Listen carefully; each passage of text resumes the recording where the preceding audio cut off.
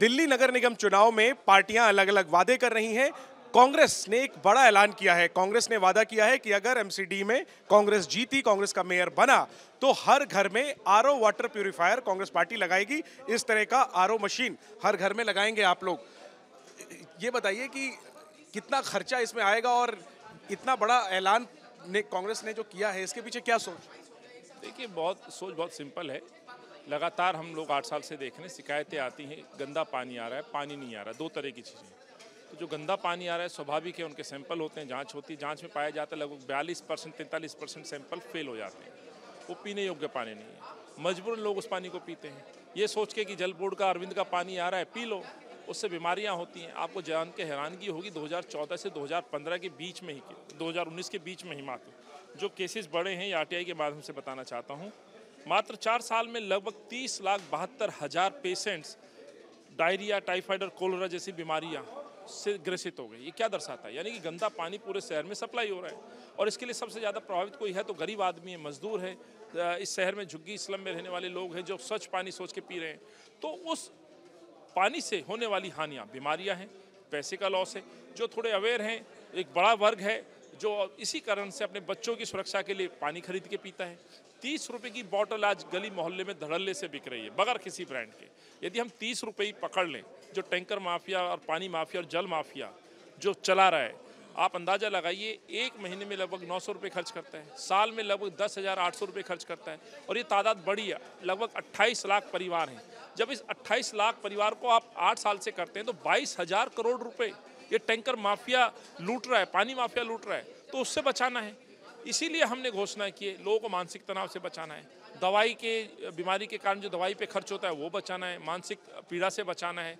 हमें स्वच्छ पानी का जो नारा होता है, जल ही जीवन है, वो हमने साकार करना है। इसीलिए हमने आज नारा दिया है, गंदे पानी का हल आरओ जल। स्वच्छ जल है सबका अधिकार, इसे पूरा करेगी कांग्रेस सरकार। ये हमने करना है कैसे करेगी? ये मशीन भी में भी अच्छी खासी आ, कीमत है इसकी अच्छा खासा खर्च होता है तो कैसे कांग्रेस जुटाएगी? और एक सवाल ये कि पानी दिल्ली सरकार का विषय है एमसीडी में फिर आप इस इस मुद्दे को कैसे देखिए अरविंद बोल रहा है कि हम फ्री पानी दे रहे हैं। देना पानी लेकिन स्वच्छ पानी दे वो तो नहीं दे रहे।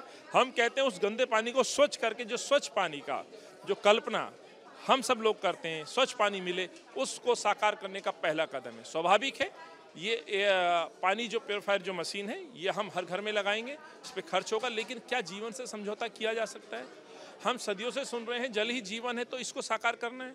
इस पर जो भी खर्च होगा एनसीडी में कांग्रेस की सरकार बनेगी ये पहली प्राथमिकता होगी कि लोगों को हम ये मशीन दें। हर आदमी को कम से कम अपने घर में स्वच्छ पानी उपलब्ध हम करा पाएँ। ये हमारी प्राथमिकताओं में सबसे बड़ा एक कदम। जितना भी खर्च हो। जो भी खर्च हो इसमें कोई समझौता नहीं होगा। ये स्वास्थ्य से जुड़ा हुआ है। और आप देखिए एक मशीन हम लगाते हैं तो लोगों का पैसा कितना बच रहा है? हर महीने नौ सौ रुपये सालाना दस हज़ार आठ सौ रुपये गरीब के लिए बहुत बड़ी रकम है साहब। दस हज़ार आठ सौ रुपये अपने घर पे, परिवार पे, बच्चों पे व्यक्ति खर्च कर सकता है। टोटल देखो तो दिल्ली का लगभग बाईस हज़ार करोड़ रुपए पिछले आठ साल में खर्च हुआ है तो अट्ठाईस करोड़ हर साल बचेगा, ये भी ध्यान रखना। ठीक है तो मुफ़्त पानी की सियासत से अरविंद केजरीवाल ने दिल्ली में अपनी, अपने पैर जमाए और अब कांग्रेस साफ़ पानी, स्वच्छ पानी के मुद्दे पर एमसीडी के चुनाव में जा रही है और बड़ा ऐलान किया है कि अगर एमसीडी में कांग्रेस जीती तो हर घर में एक आरओ वाटर प्योरीफायर लगाया जाएगा। ज़ाहिर सी बात है, बड़ा लुभावना ये वादा है और मुद्दा काफ़ी अहम है। देखना होगा कि इस मुद्दे से कांग्रेस पार्टी को एमसीडी चुनाव में कितना फ़ायदा होता है और अगर वाकई में कांग्रेस इस स्थिति में पहुँच जाती है कि वो मेयर अपना बना सके तो फिर इस बड़े वादे को पार्टी कैसे पूरा करती है? कैमरा पर्सन दुर्गेश के साथ जैनेन्द्र एबीपी न्यूज़ दिल्ली।